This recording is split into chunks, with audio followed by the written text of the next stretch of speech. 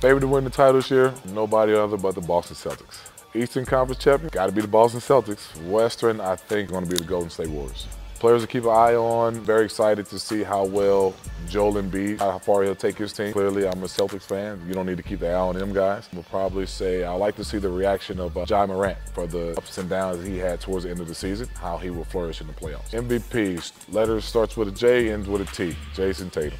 Uh, I'm gonna say the dark horse for the East Coast. I'm gonna say the Knicks. I like how tough they are and how Jalen Brunson has definitely been helping them bring their team into the fruition of uh, in the playoffs. In the West, I'm gonna say probably uh, the Lakers. So with LeBron and AD healthy, anything can happen.